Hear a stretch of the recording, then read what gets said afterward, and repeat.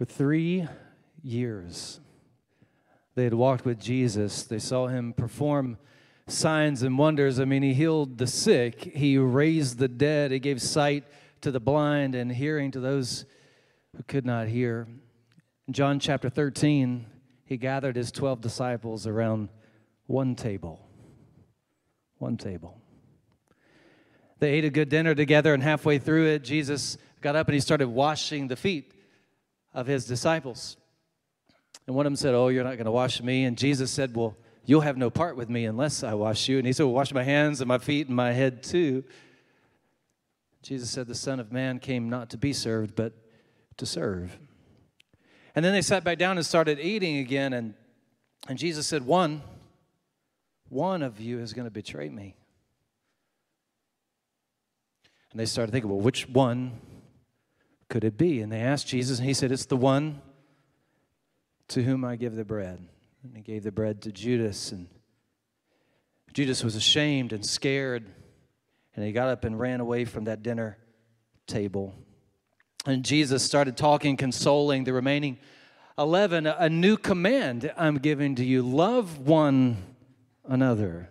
As I have loved you, so you are also to love one another.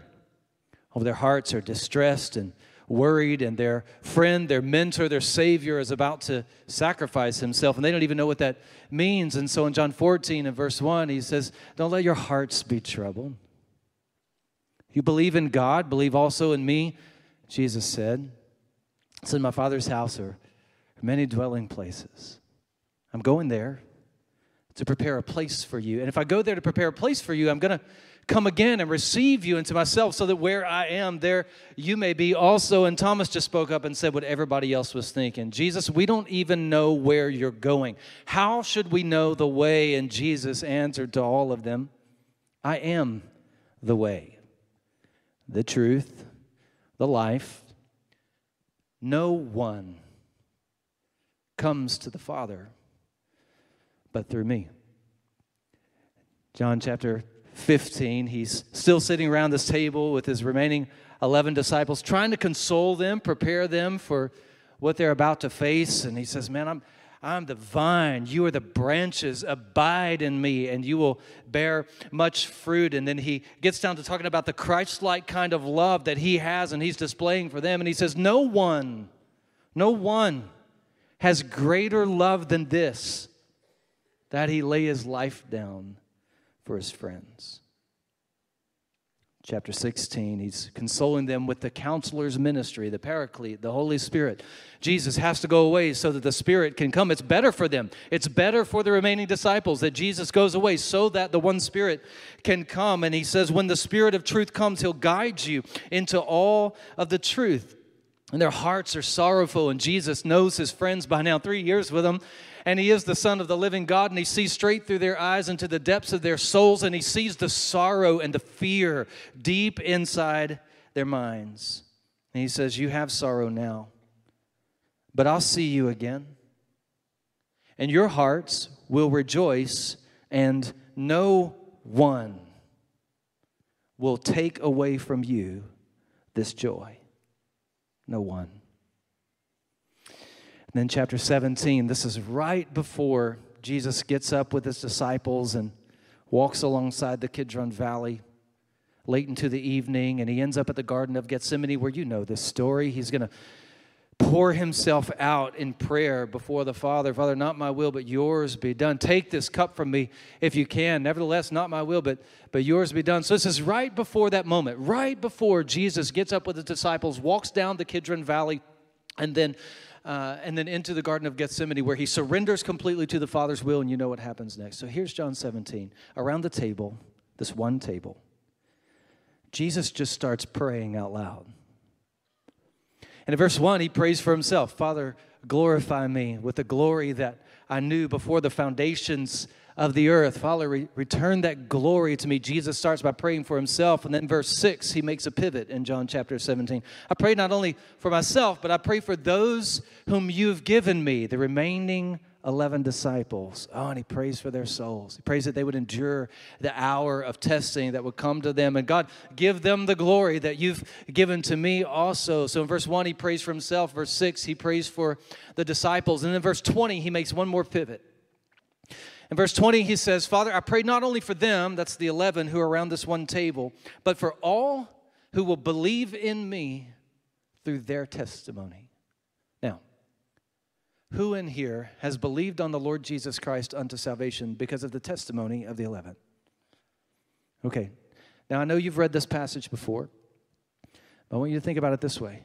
If you told me that the Son of God, filled with the Spirit of God, prayed out loud to God the Father, minutes, maybe hours, before he found himself on his knees, sweating drops of blood before what was to come ahead of him and he prayed for me. I would ask, what did he say? Verse 20, Jesus prays to the Father May they all be one.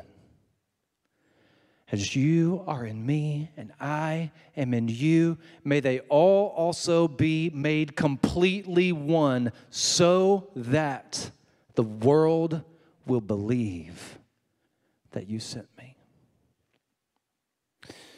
When we say one family, the South Carolina Baptist, it's not just a cute phrase.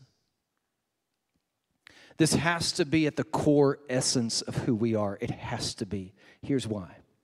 In John 17 21, Jesus directly connected the effectiveness of our gospel witness with the degree of our unity together.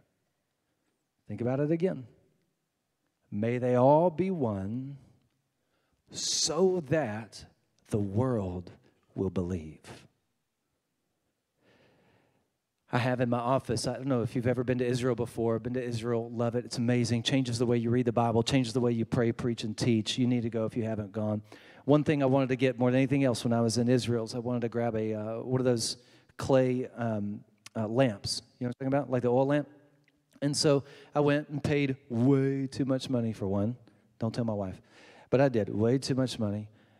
Uh, me and my, my tour guide was also an archaeologist, which was really convenient. So I let him touch it because he had to tell me whether or not it was the real deal. And then uh, they wrapped it up in a piece of paper, and I carried it with me in my lap all the way home. When I got home, I put it in a glass display case, and it is now in my office. When you come sometime, you're welcome at the office, you can see it. But guess how many people on this side of the Atlantic Ocean have touched that oil lamp? Me. That's it. You know why? Because it's precious. And anything that's precious is also delicate.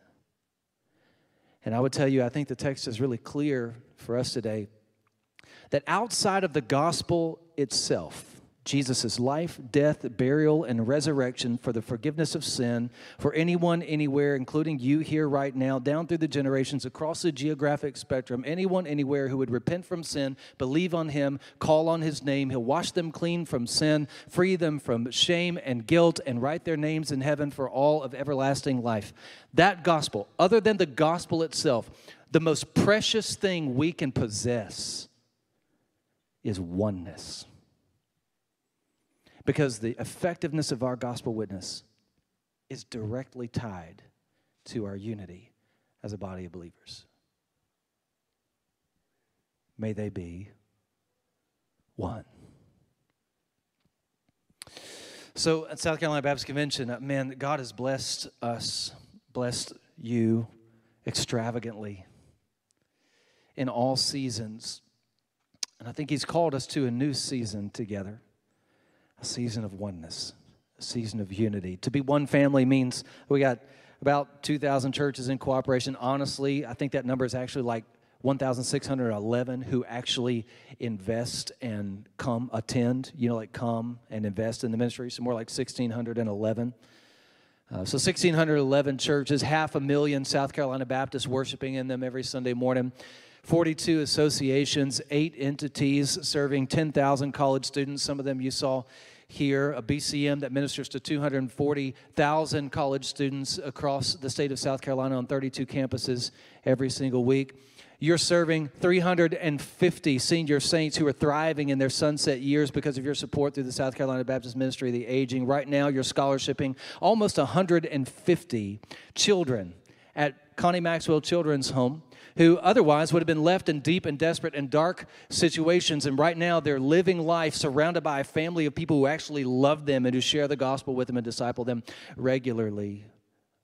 You're all over the state of South Carolina and literally the world in communities ravaged by disaster and crises of many time, many kinds through our disaster relief. You're scholarshiping 20,000 seminary students on six different Southern Baptist seminaries. You're, you're fully funding the work of 3,500 missionaries through the International Mission Board, 252 of whom today are South Carolina Baptists, almost in every single time zone across the globe. That number will be 253 next month when we mobilize one more South Carolina Baptist. 6,500 chapels and church uh, planters all across North America, all of them funded, all of them supported, all of them encouraged because you are faithful to give and to be involved in the work of South Carolina Baptist. I just want you to know all of that, I'm so proud of it, all of that can fall apart in a moment. And it'll happen when we lose the value of one. South Carolina Baptists are one family. We have one mission. We're accomplishing it through one cooperative effort. And if you're looking for a reason to disassociate, to not cooperate, you don't have to look far. But if you're looking for a reason to cooperate, because God has called us to this in our time, please look no further than John 17 21. May they all be one, so that the world will believe that you've sent me. I really don't have a lot of fancy, compelling words to share with you today. Instead, what I want to do with the remainder, remainder of my time, maybe just a minute, maybe two minutes, is I want to pray with you. And I want to pray to the God who hears, who cares, and who can, that He would make this true of us moving forward in South Carolina. That we'd all be one so that the world will believe. I'm going to invite you to assume a posture of prayer. I'm going to kneel right here. You can kneel where you are or bow in prayer, whatever you want. I'll give you 15 seconds to move, and we're just going to pray together.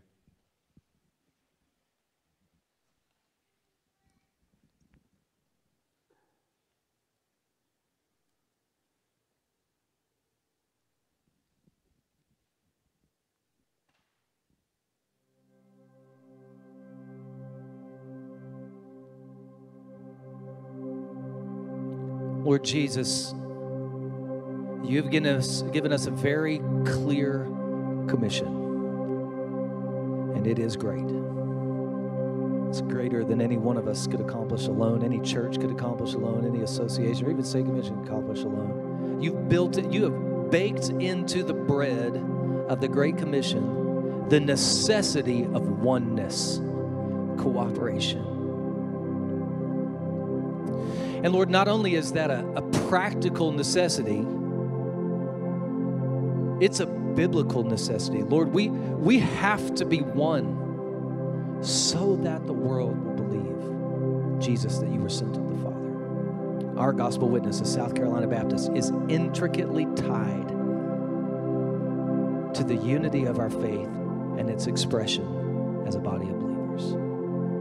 Lord, I'm praying for my friends who came today, and Lord, I, I know pray that they got great tools and ideas and concepts and all those things. That one thing maybe that they're going to apply when they go back. But Lord, I know what's probably true even in their circles of influence and their ministry areas and in their churches, God, there's some there's some disunity there. And here we are talking about oneness and singing amazing songs together and praying to you and listening to scripture, and it's amazing. But God, in the back of their mind, they're thinking, this is tough, this is hard. And Lord, so I pray by the work of your Spirit God, that you would guide them and guide those in those churches and ministry areas uh, into your truth. Holy Spirit, would you come alongside them as a paraclete, a parakletos, and that you would come alongside them and guide them into truth and encourage them along the way? Lord, there are people here right now who really, really need for you to just encourage them and show them that, that they can lead toward unity, toward the necessary oneness for a more effective gospel witness. And God, I pray that I don't even know what it's going to look like when they get back, but Lord, I pray that through the work and the power of your Holy Spirit, that even right now in this moment, you would comfort them because you are the great comforter. And Lord, uh, our mission field is vast. Vast. 4.2 million South Carolinians who are not going to be in an evangelical church this Sunday. Who will reach them if not us? And when if not now? But Lord, we have to be one. So, God, I pray that you would make this true. The things that I've just said are true of us. God, would you sustain those things and make them true? Lord, there are a million reasons for us not to work together. But there's really just one for why we have to. It's because the effectiveness of our gospel witness is so closely tied to our unity. So, Jesus, Father, make us one as you are one, so that the world will believe the gospel we sing, preach, pray, and share. Lord Jesus, we ask this in your name for your glory by your power alone. Make us that people, make us one family.